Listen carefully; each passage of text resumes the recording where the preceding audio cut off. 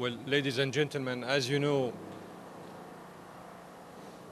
an unfortunate event took place in the separation line, uh, more specifically in the demilitarized zone in the Syrian occupied Golan, took place where an irresponsible armed group took action against the peacekeepers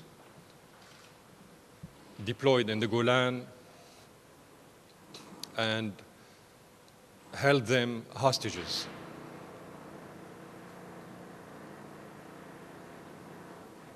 At the beginning of this unfortunate act, the armed terrorist group claimed responsibility publicly in a YouTube and they described their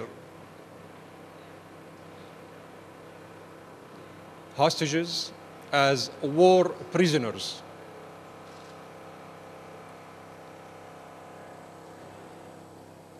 The Syrian government was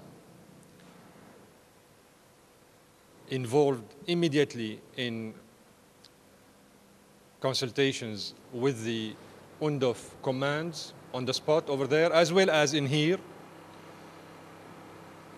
through myself and the Undersecretary uh, for Peacekeeping Operations, in order to liberate these peacekeepers from their abductors and release them and bring them back safely to their headquarters.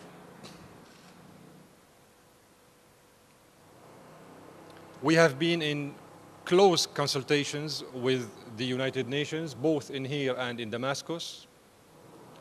And the Syrian government is committed to rescue these peacekeepers, to put an end to these irresponsible acts by the armed groups and the, armed, and the terrorist armed groups operating in this very sensitive area where the UNDOF forces are deployed.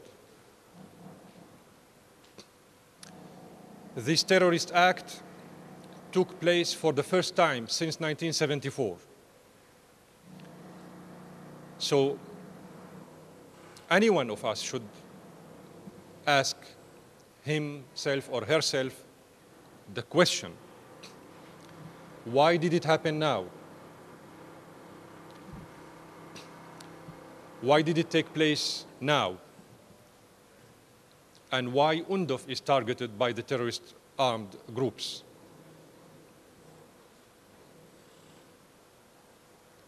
You may hear many versions, but the most important part of the story is the following. Number one, the Syrian government has warned the United Nations, represented by the Secretariat, as well as by, by the DPKO, for months against terrorist activities of the armed terrorist groups in the demilitarized zone facilitated by Israel. The proofs are the following. The Israelis rescued almost a month and a half ago a, Jordanian citizen Salafist belonging to the Salafist groups in Jordan who crossed the demilitarized zone and went into the occupied part of the Syrian Golan under Israeli control. He was treated, hospitalized by the Israelis, and then returned safely to Jordan through the demilitarized zone and the separation line. Then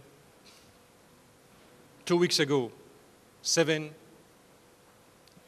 terrorists from the same armed groups who took the Filipino contingent staffers hostages were also rescued by the Israelis through the separation line, treated in the Israeli hospitals, and returned at an undisclosed place on the line of separation, according to the Israeli official statement. So that proves in itself that the Israelis are cooperating with these armed groups and, and terrorist groups and facilitating their movements and their, their crossing uh, of the separation line, illegally, of course, in a flagrant and blatant breach of the Disengagement Forces Agreement of 1974. Number two,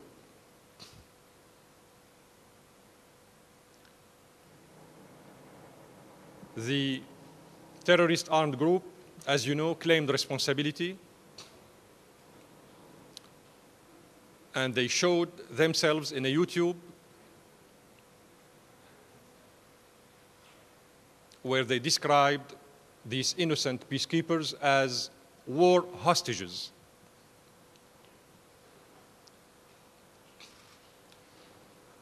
Dramatically speaking, amazingly speaking, you name it, these war prisoners, according to what these armed groups said, became suddenly protected by the armed groups from uh, the Syrian government's fire. So they, they moved their statement from considering these innocent staffers of the UNDOF from the Filipino contingent as war prisoners to no, they are not war prisoners in our hands anymore. We took them, we captured them to protect them. Of course, they did that under the pressure of the capitals which are sponsoring these terrorist groups in Syria and instructing them how to act and what to say. All these details are very well known to the Secretariat, very well known to the United Nations, very well known to the Security Council. I myself, on behalf of my government, forwarded to the Security Council, the Secretary General and his Undersecretary for Peacekeeping Operations, dozens of letters recently about what I'm talking about. Namely speaking, the Israeli violation of the Disengagement Forces Agreement and the jeopardization of the UNDOF staffers in the Golan. So no, number one, the Israeli authorities assume the full responsibility of the deterioration of the situation in the demilitarized zone in the Golan, and the Israelis are responsible for the, any danger or threats that might occur to the UNDOF staffers in the Golan. Number three. Number four, the Israelis, by doing so, would have in their mind the idea of repeating the same mistake they did in South Lebanon after the occupation of South Lebanon at the end of the 70s, 1978, where they created what they called a zone tampon, a safe zone run by a proxy militia headed by a Lebanese officer at that time.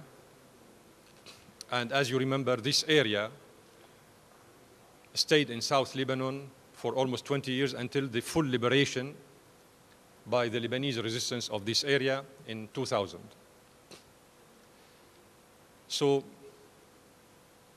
one of the goals of the Israelis and their proxies would be an imitation of what they did in South Lebanon. But to do so, they need to get rid of the UNDOF from the area. This is why these armed terrorist groups have targeted UNDOF contingents. They started with, uh, uh, before that, with other contingents. And this is why the president of Croatia decided to withdraw, as you know, the Croatian contingent from the UNDOF. The Japanese are thinking about it also to withdraw their contingent, and now the Filipinos.